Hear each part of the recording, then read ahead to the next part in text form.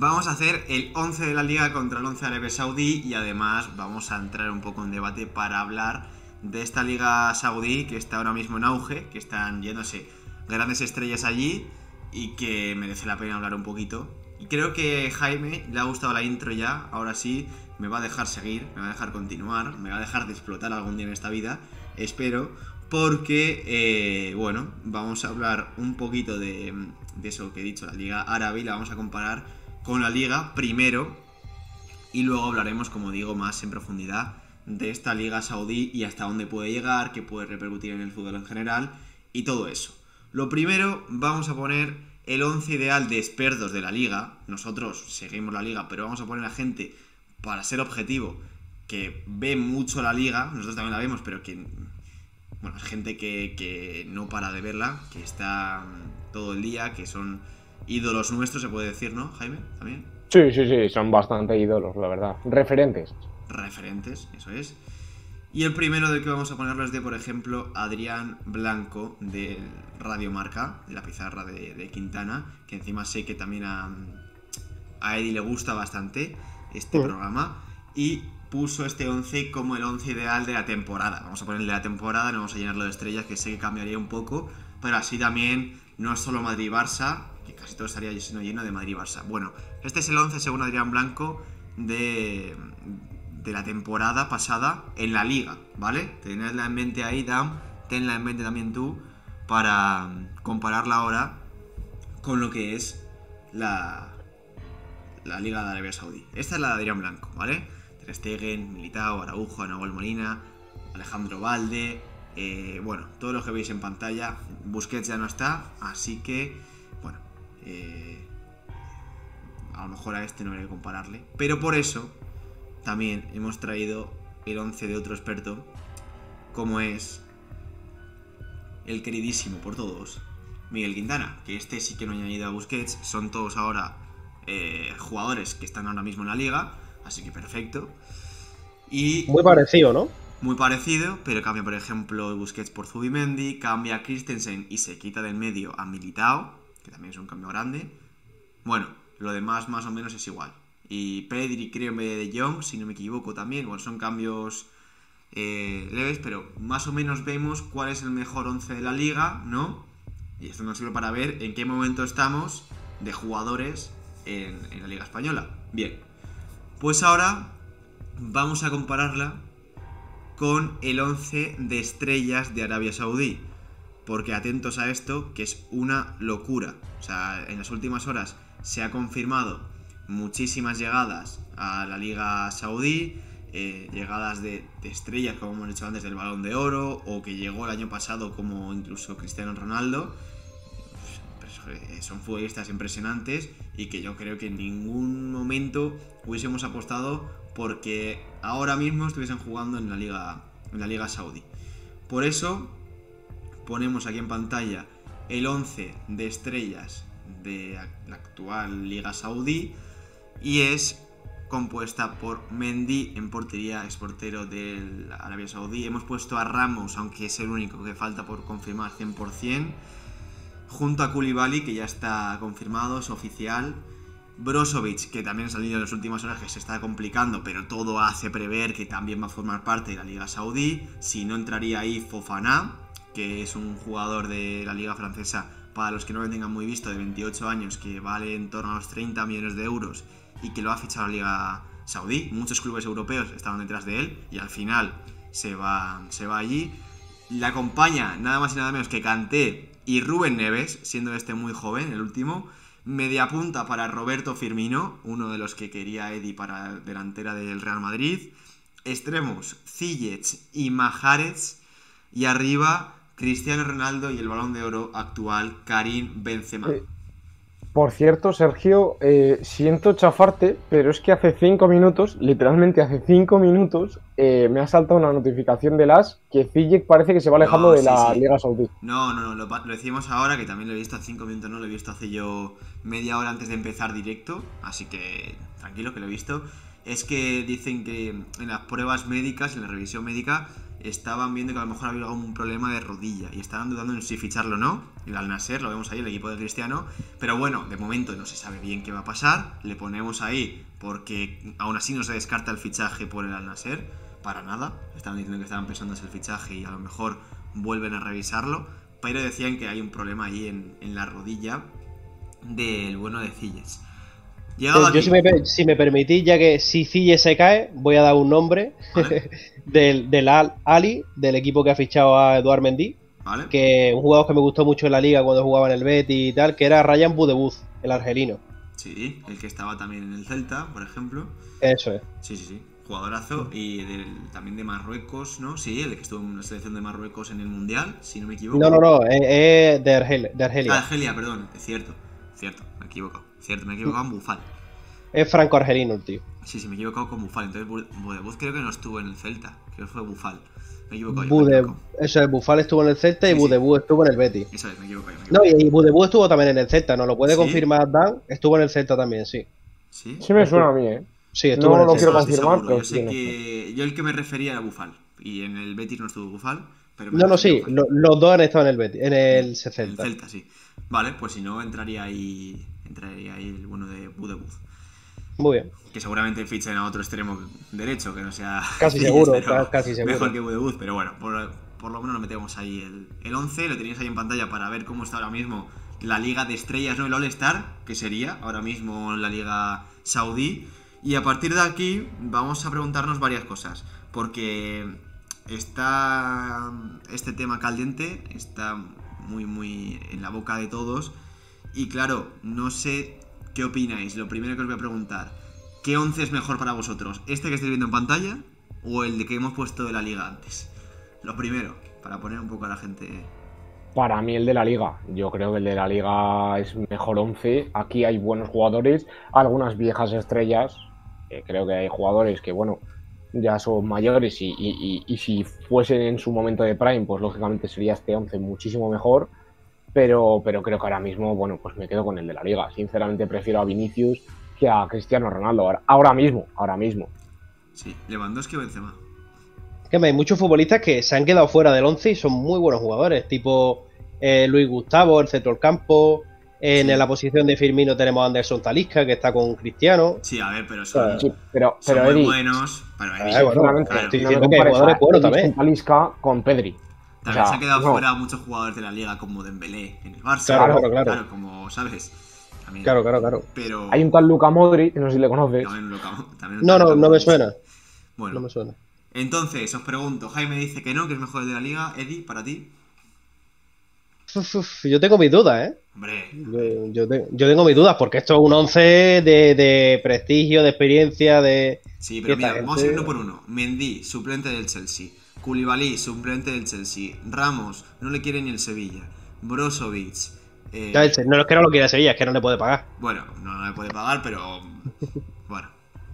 Sí, pero que es peor que Militao Caraujo que Christensen ahora mismo, ¿no? Sí, Vale. sí. Brozovic, eh, peor que. Bueno, sí, peor que Zubimendi, por ejemplo, ¿no? Vamos a decir. Sí, sí.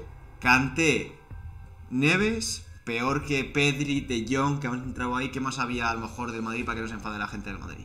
Eh, bueno, Modric, eh, Sí. Bellingham ahora, que ha entrado nuevo. Eh, Oye, el centro del campo no lo veo tan, tan, tan. Bueno, sí, Sí, con, hombre. Pe- con Pedri, con Pedri lo veo Sí. desequilibrado, pero eh, por el resto tú sabes. ¿eh? luego, extremo izquierdo, Vinicius mejor que Mares, también. Extremo derecho, Dembélé, Cubo, mejor que Ziyech ahora mismo, que también es suplente. Y los dos arriba, Cristiano, peor que Lewandowski, por ejemplo, y Benzema sí que es el que para mí es el mejor de todos los que están aquí. Ahora mismo, por nivel, es verdad que ha pegado un bajón, pero es el actual balón de oro.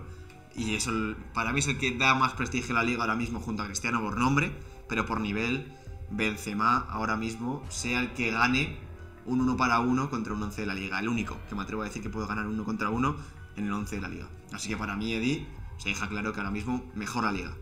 Ahora bien, Sí. te pregunto a ti directamente, Eddie, también. ¿Cuándo va a superar o cuándo crees que puede superar la liga saudí a la liga? Por nombre, por nivel, por todo. O sea, que, que supere la liga a la otra liga, no el mejor 11 al mejor 11, ¿no? El- eso es. Porque... Eh, viendo- Sí, dale. no estaremos vivos para ver eso. Yo estoy, estoy totalmente de acuerdo con Eddie, incluso me atrevería a decir que nunca. O sea, creo que nunca la va a superar la Liga Saudí a la Liga, y si llega el día que la supera, si llega el día, creo que no vamos a estar vivos. O sea, Vale. Sí, sí, sí, lo tengo Yo claro, creo, mira.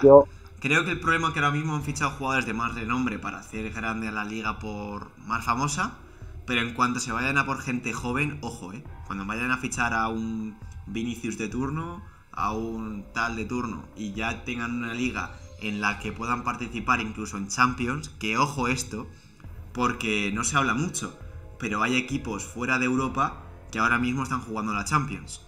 Espérate que no se meta la liga saudí en algún momento a competir la Champions también, que puede pasar esto a la UEFA. Yo creo que en caso de que muchos jugadores se sigan yendo allí, le beneficia, y a la Liga Saudí sobre todo, sería para ellos un subidón espectacular. A ver, que sí, que, que, que pueden jugar Champions, pero Sergio, escúchame, ¿qué equipos juegan Champions que no sean de Europa ahora mismo? El, el este de Israel, que no sé cómo se llamaba, me parece. Sí, Eh, la El- Poel Tel Aviv. el Maccabi. Eh, Ese, el, la Maccabi, el Maccabi. Tel Aviv, ese, no. Eh, ¿Era el Maccabi?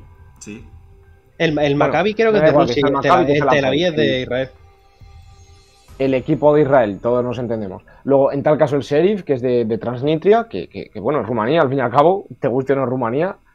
Y, y- y- y qué más, o sea, son equipos que, bueno, por, por matices, por matices, quizás jueguen la, la Champions, pero más matices políticos que deportivos. Pero la Champions es la, la- la UEFA, UEFA es Europa, es Copa de Campeones de Europa, la Copa de Europa. El año pasado Europa. Mundial. O sea, ¿me vas a negar Sí, la posibilidad de que la Liga Saudí pueda entrar en la Champions? A ver, el mundial fue en Qatar porque tú lo has dicho, es mundial. Que sí, que sí, que pusieron mucho dinero, que no se merecía que fuese en Qatar y todo lo que tú quieras, y que estuvo lleno de crímenes y lleno de, de tal. Que, que no lo voy a discutir, no lo voy a discutir. Pero, pero vamos a ver, es que ya, ya metemos a la Saudí a Champions. Si quieres, hacemos el modo carrera este del FIFA que, que hacíamos entre todos de cambiar jugadores de equipos, de meter a Messi en el Puede Madrid. pasar perfectamente, y- y- No, estás, no estás tomándote nada, es algo que puede pasar perfectamente. Que la Liga Árabe al final, la Liga Saudí otra vez, perdón, eh, acabe entrando en Champions. Es algo que puede pasar perfectamente, porque metan pasta y se meten en Champions. Yo, si, me, si me permite, yo diré que no debería pasar, pero puede pasar. Pero puede pasar, yo pienso totalmente pero lo mismo, pasar. Eddie, totalmente Puede lo pasar. mismo. No. Pero no debería pasar, ¿eh? No, Jaime- no debería pasar. Jaime va con la, con, con la, ¿cómo se dice? Con la teoría, con la filosofía de la moralidad, muy bien la moralidad. Ahora, la realidad es otra. La realidad no es la moralidad. Yo veo con la filosofía de que en el fútbol cada vez manda más el dinero. Claro. Entonces, es ten- tenemos que ser realistas y es que puede pasar. Es decir, de que llame un día al Ceferín y le diga a Ceferín, oye, mira, eh, te pago tal, te pago tal, te meto aquí a tal, ficho a no sé quién y, y te monta una ley de condiciones y a ellos a nivel de, de, de, de- ¿cómo se dice? De marketing y tal, pues que le venga bien y, y lo acepten y ya está. Igual que se han llevado la Supercopa, la Supercopa Árabe Saudí, igual que Florentino ha querido hacer o- otra buen nombre ese, ¿eh? distinta. La supercopia, ¿eh? La supercopia, ¿eh? sí, Se podía sí. llamar así, ¿eh? Llamar- Perfectamente. Sí, sí, sí, sí, me ha gustado. ¿eh? Ah, supercopia. por cierto, ¿habe- ¿habéis visto lo de que eh, ha propuesto Rubiales que se haga un estadio nacional en Madrid Sí, para la bueno, selección? bueno, no, Eh, Esto vaya a querer comentarlo porque es duro, ¿eh? es, bueno. ¿Quieres comentarlo? Es que no hace ni falta, ¿no? Eso, bueno. A ver, yo, yo te digo una cosa, es innecesario. Es innecesario. No, España no necesita un estadio. Es decir, lo que hay que hacer en España es empezar a repartir los, los partidos en todos los, los estadios del país. Y lo compara con Wembley, no es lo mismo. O sea, no tiene nada que ver. A mí, sinceramente, creo que es una cosa que me, me gusta la idea. O sea, creo que para que juegue España en un estadio, tal, está bien, para jugar finales de. Copa y tal. A mí no. A, a mí es una idea que no me disgusta, ¿eh? O sea, en cuanto a Si proyecto, no me tienes disgusta. ya, tienes ya un estadio. La tienes la cartuja. Renuevas el contrato. A ver, ya, el, problema de la Cartuja es que está en el sur. Entonces juega una final Osasuna contra el Sevilla y tú dices, pues es que hay desventaja. Bueno, Jaime. ¿Sabes?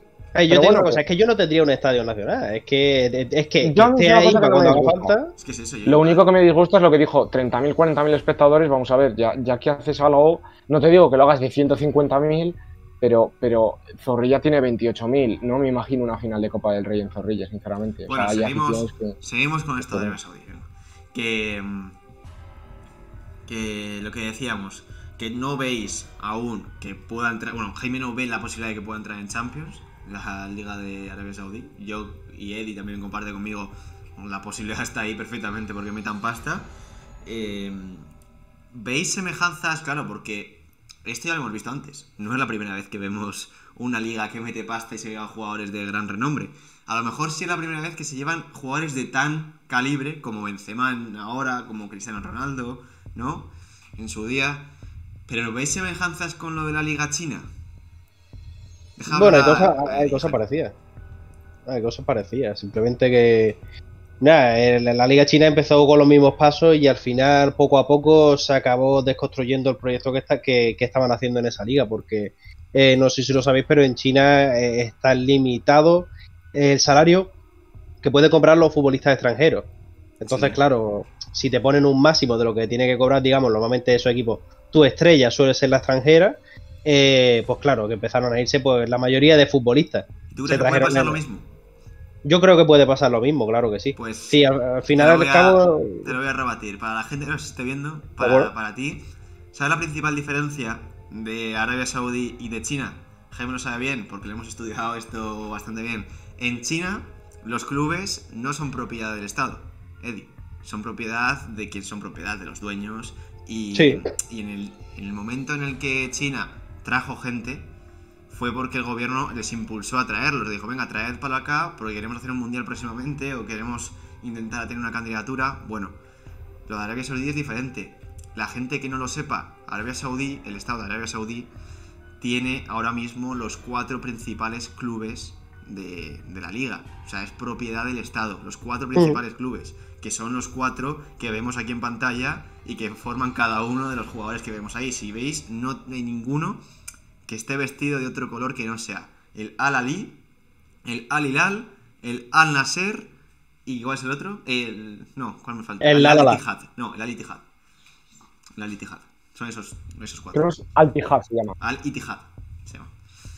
Se llama pues yo, sí, yo, sí creo que puede pasar lo mismo, pero por a ver, esto que me, que me estás comentando, en, Arabia, en Arabia Saudí lo que se está haciendo con el fútbol es comercializarlo, entonces, más todavía sí, sí puede ser. Entonces, en el momento que, que al gobierno o a quien tenga que poner dinero en esos equipos eh, no le interese económicamente eh, subvencionar eso, se va a acabar.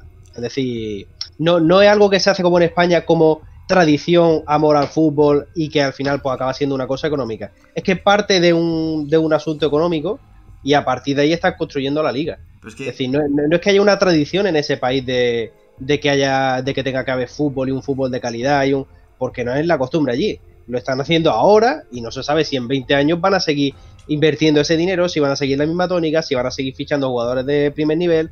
Yo lo veo complicado, ¿eh? Yo lo veo muy, muy, muy, muy complicado, porque la mayoría de estas ligas tienen, tienen muchos altibajos y suelen ser periodos transitorios. O sea que yo creo que, que, se acabará.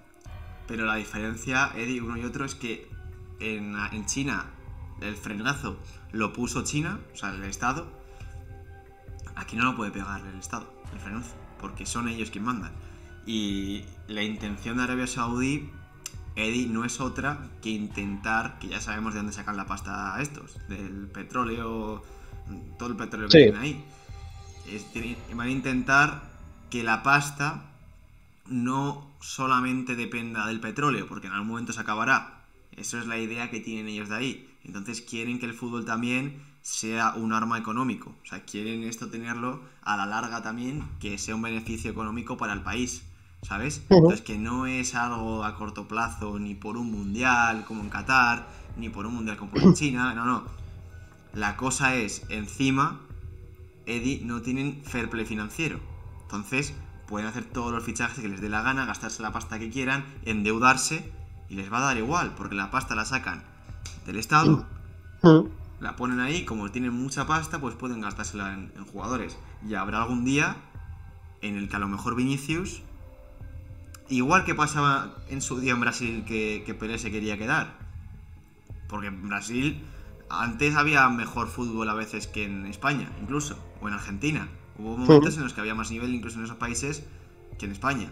Ahora los brasileños en cuanto pueden se manchan en Europa. ¿Quién te dice que dentro de poco los jugadores no hagan así, se marchen a Arabia Saudí. Porque puede pasar perfectamente si siguen invirtiendo pasta y si consiguen que la liga sea una superliga que quería montar Para los, los clubes europeos. Para mí aquí hay un principal problema que es que la Liga Saudí no tiene límites. No tiene límites en cuanto a fair play financiero. Está fuera de las reglas de la UEFA. Que ojo, porque la UEFA tiene unas reglas de fair play financiero y como quieran entrar en Champions, digo yo, digo yo que la UEFA les haría acatar esas, esas reglas. Sí, bueno, pero que, se lo, que se lo no Jaime, ¿eh? ¿Eh? Que se lo digan al PSG si cumple esas normas. Hombre, en, te- en teoría el PSG las cumple. Bueno, En teoría. el City, Me, que supuestamente gustaría se lo saberlo. saltó, le, hicieron, le pusieron una sanción y la sanción no la ha visto nadie. Bueno, todavía no la he visto. No, no voy a entrar ahí, pero me refiero, la Liga Saudí ahora mismo no, no tiene ningún tipo de reglas. O sea, es el modo carrera que pones con mil millones y empiezas a jugar con él. ¿Sabes? Entonces, bueno, mm, si quiere ir progresando la Liga Saudí, que entrar en Champions sería uno de los pasos para el progreso, eh, tiene que, que acatar, digamos, unos límites financieros. Entonces, digo yo que llegará el momento en el que las reglas se igualen para todos. No todo es dinero. Entonces, ahora mismo sí que le veo lo que dice Sergio de poder fichar a Vinicius, poder fichar a Mbappé. Total, tienes dinero, tienes, les puedes dar dinero y les puedes hacer contratos de lo que quieras. Sí, a ver, lo bueno que tiene poder ahora sí todavía que se puede. Los, los de fuera, Jaime, respecto a eso, es que los jugadores aún, los jóvenes, también quieren estar en los mejores equipos del mundo. Y quieren estar en las mejores competiciones del mundo. Y por eso la mayoría, porque habrá algunos que sí, pero la mayoría prefieren jugar en los cinco mejores, las cinco mejores ligas del mundo antes que en Arabia Saudí. Esto es así. Pero claro, habrá en algún momento, Jaime, que puede pasar, como te decía con Pelé, que Pelé se quiso quedar en, en Santos y se quedó en Santos sin salir de ahí porque la liga brasileña tenía un nivel increíble. Pero ahora no vemos brasileños que prefieran jugar en Brasil, quedarse a jugar en el Santos, en Flamengo, antes de que se le viene una oferta del Real Madrid, se vaya al Real Madrid o del Barça. Bueno, en general en Latinoamérica, ¿no? Entera. Sí, sí, bueno, sí, en Latinoamérica. Te he puesto el ejemplo de Pelé porque, porque es el más, más conocido. Pero es complicado. Yo, yo, yo es que confío porque creo que hay cosas que, que el dinero no puede pagar. Es decir, el, el Madrid va a seguir siendo el mejor equipo de- del mundo mientras, mientras cualquiera de nosotros vivamos. Da igual el dinero que tenga Arabia Saudí. Entonces, bueno, por esa parte se puede estar un poco más tranquilo. De que los futbolistas que realmente quieran participar en ligas de primer nivel, fútbol de primer nivel, y no una liga en la que cuatro equipos mandan y el resto, el resto desaparece, eh, pues tirarán por ir a, a- a las buenas ligas, yo creo. ¿Y qué El que quiera ganar, Perdón, perdón. Claro, el que quiera ganar dinero vaya a ganar dinero. Oscar, por ejemplo, el que estaba en el Chelsea, pues era un jugadorazo, tenía una pinta increíble y no dudó en, con 23, 24 años en irse a China a ganar millones. Bueno, habrá de todo. Sí, sí. Pero Mira. el que, el que quiera participar en fútbol de nivel estará aquí.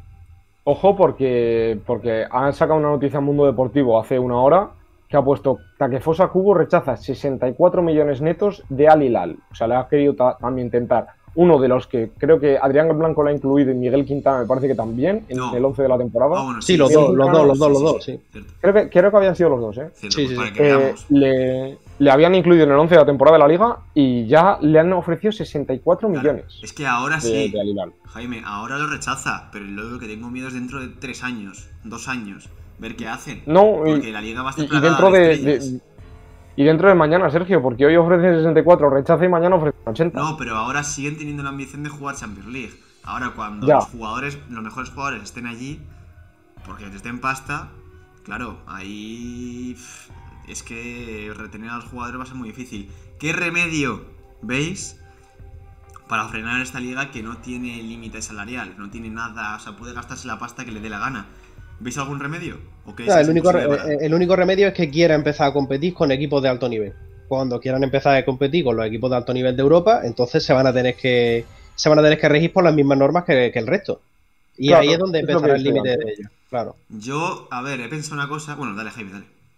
No, no, es, simplemente lo, lo que ha dicho Eddie, como si quieren entrar, por ejemplo, en competiciones, como habéis comentado antes, como la Champions o tal, que quieran competir ya al mismo nivel que, que el Madrid, que el Barça y que, que todos estos equipos, pues tendrán que acatar sus mismas normas. Entonces ahí es cuando ya lo veo más complicado.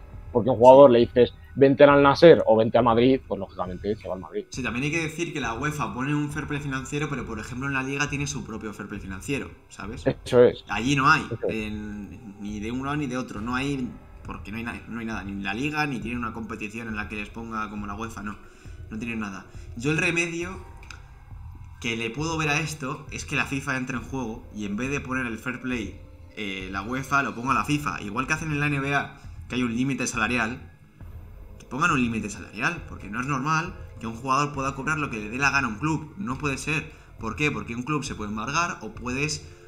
Esto ya entra. Es que pff, te cargas el fútbol y hay unos, unos límites. Entonces. Pero por, por ejemplo, en la NBA puedes, pues, o sea, puedes tener algunos jugadores que sobrepasen el límite salarial, no sé si eso lo sabes. Sí, pero no pueden más de un salario. O sea, el, el club, como tal, tiene un presupuesto. Sí, Y un jugador tiene límite siempre salarial. O sea, un jugador puede optar a tener. Pues la estrella del equipo, como dices tú, Eddie, puede sobrepasar un poco eso, pero el segundo ya no puede sobrepasarlo. Hay como límites salariales, incluso por ejemplo en los rookies se les asigna un salario. Por ejemplo, los rookies que para la gente que no ve NBA son los jugadores que entran nuevos al- a la competición y tienen un, precio, o sea, un salario asignado y por eso hay algunos jugadores que están deseando ser pick 1 o elegido como número 1 del draft porque van a cobrar más que el número 2. Entonces, eh, todos los jugadores o la mayoría de jugadores tienen un, un límite y los clubes tienen un límite porque sí, como te digo, Eddie, un jugador puede exceder a lo mejor un límite salarial, pero el, el club como tal, o la franquicia en este caso, que son franquicias, no clubes, perdón, eh, no pueden sobrepasar el salario que tienen ellos, el presupuesto salarial, ¿sabes? Allí no tienen Sí, sí. presupuesto salarial que, que- que superar. Allí, pues si pagan lo que pagan por Benzema, lo pagan aquí en España y, y el Madrid y el Barça tienen el presupuesto salarial solamente pagando lo que pagan por Benzema eh, fuera, o sea, superado el doble o el triple. pero eso a mí me parece que, que podría generar un problema porque si tú haces que la FIFA eh, eh, ejerza el control económico, mm, por ejemplo, claro, si, si lo ejerce la FIFA tiene que ser a nivel internacional. ¿Cómo va la FIFA a ejercer un control económico sobre un equipo de segunda división de Zambia? Muy complicado. Es decir, aquí en Europa, bueno, eh, lo puede, lo puede hacer, lo pueden medir, está un poco todo más regularizado, pero en otras situaciones, un equipo de ellos que sé, que juega en Madagascar, ¿tú qué? Ya. Muy, compli- muy complicado. Yo lo, lo veo difícil, ¿eh? sí, lo veo sí. difícil. Pero, Ah, Lo más probable es lo que decís vosotros, lo de la UEFA. Lo de la UEFA es lo más. Cuando quiera entrar en Champions es lo más fácil. Dale, Jaime. no, es, es eso. Acabo. Cuando en Madagascar, ¿qué, qué control hay de la liga? ¿Quién, ¿Quién sabe algo de esa liga? Entonces, bueno, la FIFA tampoco se mete porque es una liga que no interesa, no, no, que sin más. Pero en el momento en el que la liga de Madagascar haga así, ficha a Cristiano, ficha al actual Balón de Oro y ficha a jugadores ya consagrados y, te, y dirá la FIFA dónde va esta gente, se ponga a investigar la liga y ya le ponga unas reglas. Entonces, yo creo que en el momento en el que Arabia Saudí Sí. quiera crecer, que yo creo que lo va a hacer, y, y- y crezca un poquito, va a llegar la FIFA y va a decir, oye, que el fútbol es mío y yo voy a tomar cartas en el asunto. No voy a dejar que tú manejes el fútbol a tanto. Bien, pues con esto terminamos ya el, el 11 de la liga contra el 11 de Arabia Saudí o la reflexión de Arabia Saudí, como se quiera llamar. Y con esto ya terminamos.